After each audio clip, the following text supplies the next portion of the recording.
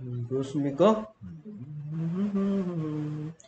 그래서 준호가 지난 5호에서 배운 건, 아, 오늘은 뭐 배웠는지부터 먼저 물어볼까요? 오늘은 6호 배웠는데 6호에서 뭐 배웠나요? 감정은 감정은 오, 그렇지. 어떤 기분인지 묻고, 어떤 기분인지. 그래서 거기에는 무슨 시가 무지하게 나오냐 하면, 음, 당연히 어떤 시가 무지하게 나오죠. 감정은 어떤 기분인지 얘기하는 거잖아. 어? 어, 놀란 기분인지, 행복한 기분인지, 어떤 놀란, 행복한, 슬픈, 어떤 슬픈. 그래서 어떤 시들이 있으니까 문장을, 나- 문장을 할 때, 문장을 표현할 때 계속 무슨 동사가 들어가 있냐면, 비동사가 다 들어가 있네? 응? 나, 겁- 나 놀랐다 이런 표현 나오지. 너 놀랐니? 뭐거 나오지. 어, 너 놀랐니가 뭐던가요? 어, 금방 까먹었습니까? 그러면 꼭 복습에 Are you surprised? 아, 아닌가요? 음, Are you surprised 할 때 are 보고 선생님이 뭐라 그랬어요? 계속해서.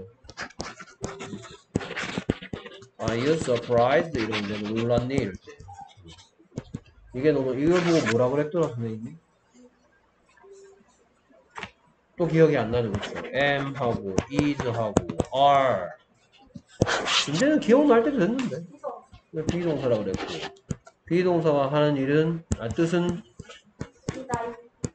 그러면 are you surprised 말고 you are surprised는 무슨 뜻이에요? 이건 무슨 뜻일까요? are you surprised가 넌 놀랐니니까 you are surprised 너는 몰라 너는 놀랐다 하지 뭐? you are surprised you are surprised you are surprised 묻는 느낌 들어? 아니 Are you surprised? Are you surprised? Are you surprised? 묻는 느낌 들어? 응. 그러니까 얘는 너는 놀랐니고 얘 너는 놀랐다야 이거. 이거 surprise 뜻이 그럼 무슨 시예요? 어 어떤 토끼? 무슨 시예요? 어떤 어떤 시 앞에 뭐 있으면 비동사 있으면 am, is, are 비동사라며 어떤 시 앞에 비동사 있으면 합쳐서 뭐 된다? 어떤 이- 이란 뜻이 어떻다 니까 여기는 놀라다가 된다고 너는 놀란다 맨날 내래 이해했단 말이지? 이해 못했습니까 아직도? 음, 알겠습니다 자, 그럼 오늘 수업하면서 또, 또 설명할 거야. 자, 그래서 미안해 라는 거, 뭐 사과하고 거기에 답하는 거 이거 배웠는데 미안해가 뭐든가요? sorry sorry도 되고 또 이거 또 뭐?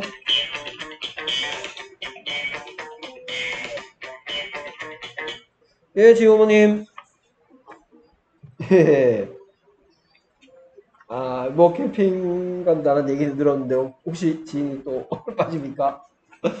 아, 알겠어요.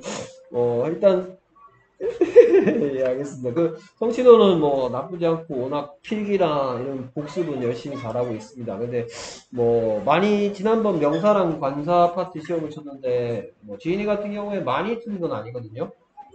어, 네, 뭐, 뭐 전체적으로 4개 틀렸으니까 뭐 제 시험 기준은 아니긴 한데 그래도 뭐 틀렸던 거 수업했던 것들 뭐 얼마나 이해했는지 확인하기 위해서 제 시험을 실시할 예정입니다. 예, 예, 알겠습니다. 성취도는 높은 편입니다. 예, 감사합니다. 예. 예, 그래서 sorry 해도 되고 음, 미안하다고 할때 sorry 해도 되고 너 이거 공부할 때 문장 두 가지 해야 되는 거 단어랑 문장 해야 되는 건 알고 그 다음에 단어 세트 아, 문장 세트 공부할 때 어떤 식으로 해? 음, 음. 한글만 보고 영어로 말할 수 있도록 합니까? 그거 안 하면 그건 뭐하러 공부해요? 음, 한글만 보고 영어로 말할 수 있도록 연습하는 게 그게 그 클래스 카드로 공부하는 건데요. 그래서 난 미안하다는 소리 해도 되고 한글만 보고 영어로 말할 수 있도록 준비해오세요. 여태 뭐 했습니까? 해놓지?